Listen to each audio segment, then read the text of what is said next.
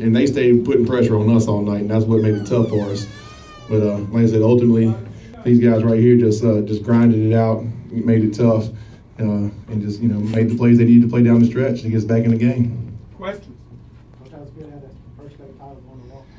Uh, that's amazing, guys. What y'all think about that first state championship in Walker? How y'all feel about that? Good. That's it. Just good. I think it's I think it's still a little surreal for us right now, but uh, but it's amazing. I mean, you saw the, the atmosphere afterwards, and you know the, our fans, our community showed up in force tonight. I mean, you know the student section was packed over there. Our side of the bleachers was packed, and you know it's just an amazing feeling to, to win that game. You know, and, and to bring that state championship first in school history. So. You know, there, there, there's no way to put that in a word and describe the feeling that gives you, especially for me being an alumni uh, coming in front before these guys, you know, as an alumni. But like I said, all the credit goes to them because they just worked hard and, and never gave up and, and, just made the plays late.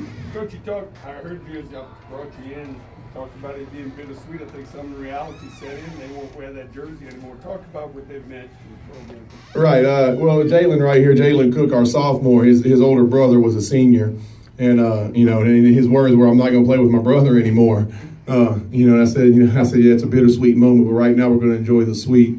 And, uh, you know, we'll have time to, to get together in the locker room and on the bus ride home and we can reminisce and we can, uh, you know, we can we can talk about the, the, the bitter later.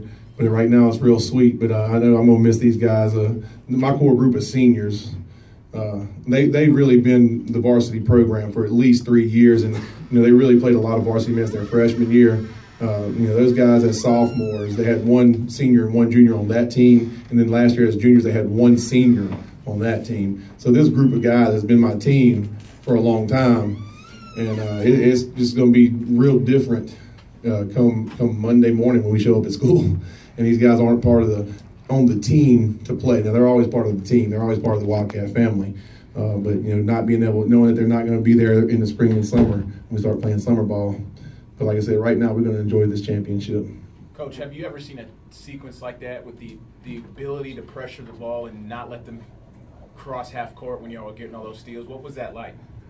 Uh, I was a little in, in disbelief, a little bit. Uh, you know, just just the fact, you know, it's almost that we went into not desperation, but we knew we had to do something. We had to do something in a hurry, and for us to to really just get that many steals and that many turnovers in that short a period of time. I mean, I don't even know uh, I think we were down eight with a minute 20, and, and with a minute one left, we're down by two. So, I mean, you know, it's a two point game with just a minute left. So, uh, amazing. Like I told these guys doing that last time out with about a minute 20, I said, guys, y'all know we can score in a hurry. Now, I didn't realize we was going to score that much in a hurry. But uh, I said, y'all know we can get turnovers and score in a hurry. So, this game's far from over. And they they responded. I mean, that's all there was to it. They just responded. My question is all three the players. Um, just talk about how in the first half, or the first three quarters, really, um, how they big was giving y'all problems at the rim. But it seemed like in the fourth quarter, y'all figured it out. You started hitting floaters and just drawing contact, drawing foul. Just talk about how y'all made a different approach and getting to the rim against the bigs. We started looking at the help more, you know, dishing it, you know, because like we've been getting to the rim all year and all that, but now we're playing in championship. We got longer, longer bigs. We we haven't played against those bigs all season, so you know we have to adjust to it and you know and make shots.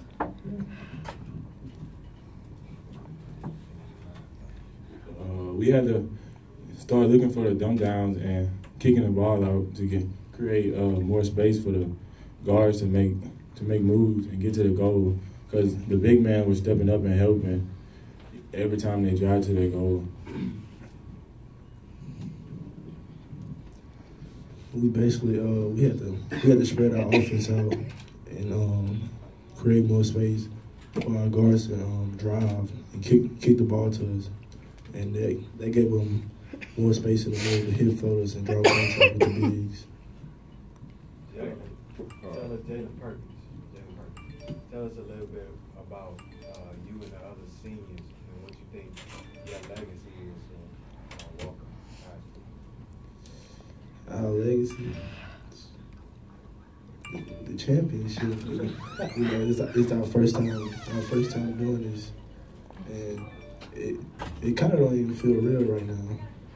To be honest with you, I really don't know what, what to say about it. Hey, Perkins, Coach said that he was in disbelief.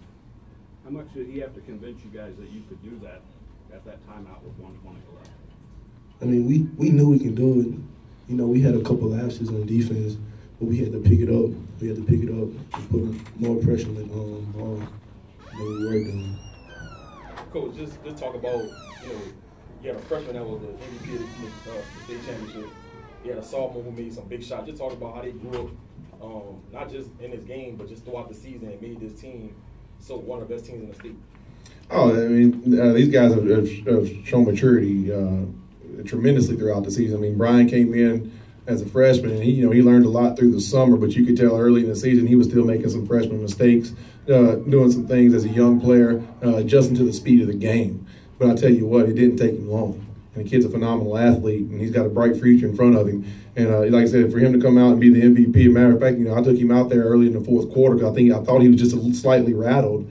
But I'll tell you one thing about that kid there, you could never tell if he's rattled because he doesn't show it a whole lot. And then when I put him back in the game, he was ready to go.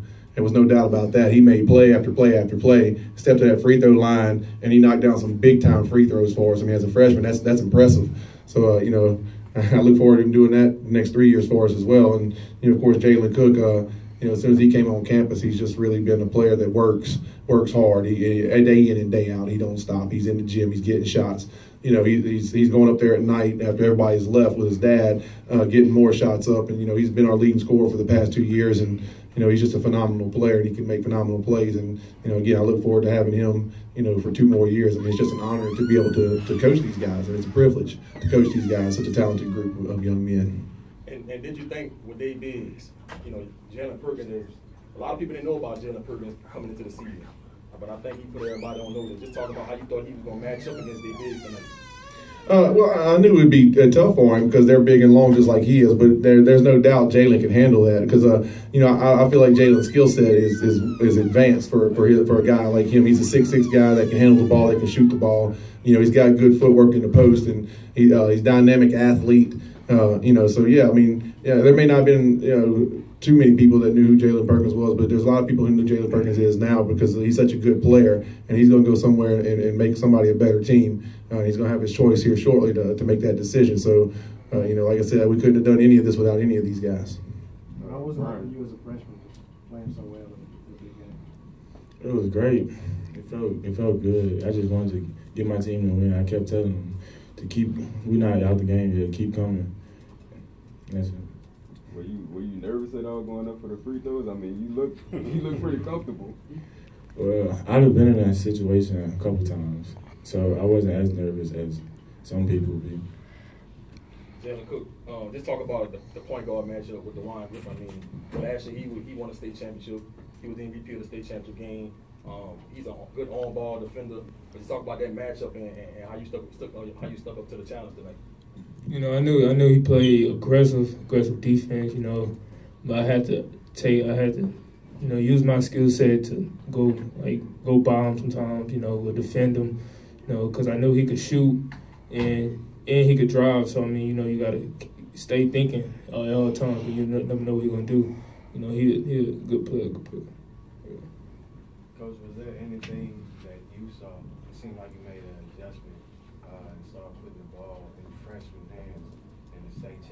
Was it something that you saw on the sideline, or was it something that just kind of happened? Uh, well, you know, it, it really just kind of happened. The guys, I mean, again, that's a credit to our team and these players. They understand, uh, they understand matchups. Uh, they understand who's got the hot hand, and you know, we and, and, basically when it came down to it late, the, you know, the best thing we could do, we knew we had to attack the rim to uh, either get to the rim or get to the free throw line. So uh, we knew uh, Brian had a matchup that he could take advantage of. He has a skill set that he can put the ball on the floor. He has good footwork. He can make a move and he can get to the basket. And uh, you know, I don't think the guys or myself felt like their their big guy could keep him from getting to the rim. And, uh, and and you know and he could and, and Brian that's, that's a testament to Brian and who he is as a player that he can uh, make those moves and make those plays in the way he did. So I mean, just getting the ball in his hands, really. I mean, yeah, we it wasn't so much that I said, hey, let's get the ball to Brian's hands, but as a matter of fact, I said, let's swing it around, let's start attacking this thing. You know, when we move the ball and move players around, we're going to open up some driving lanes. And, and like I said, our, our guys did a great job of getting it to our playmakers' hands. Any other questions, guys? Coach, players, congratulations. Thank you.